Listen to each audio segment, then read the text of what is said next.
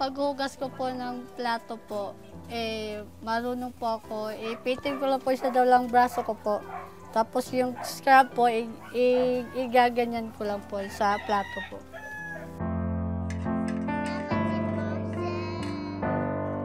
Pag ako mayroon akong trabaho, siya lang ang maglinis. Yung nung malaki na siya, magluto na siya. Tupi ng mga labahin ko.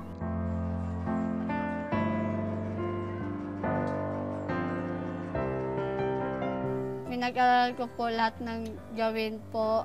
Ako lang po yung isa, wala po, nag, wala po nagturo sa akin.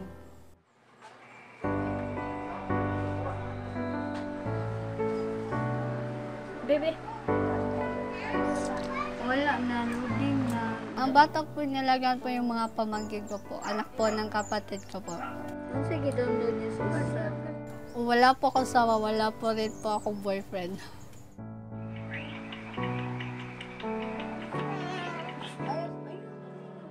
Siya mag-alaga ng mga pamangkin niya.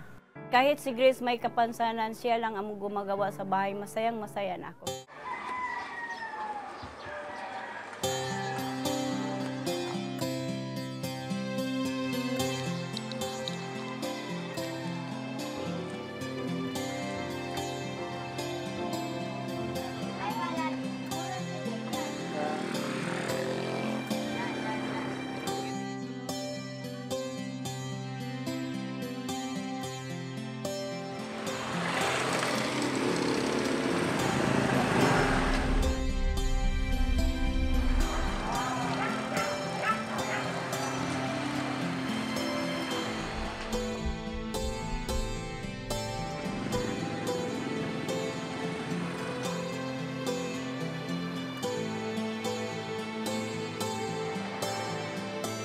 Tanggap ko na po yung kalagayan ko po ngayon. Kahit nga sisihin mo pa yung ano, pamilya ko po, wala naman po silang ano.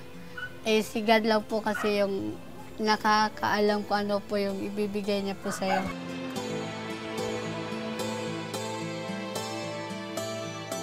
Sa tingin ko, ganyan si Grace. May kapansanan noon. Akala ko walang magagawa. Pero ngayon, lahat nagagawa niya parang kompleto.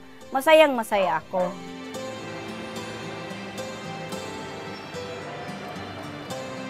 Sa mga taong katulad ko po, wag lang sila paghinaan ng loob. I, an, ilalabas lang po nila ko anong, kung anong meron sila. Kasi yan po kasi yung bigay ni God po sa atin kung anong meron po tayo.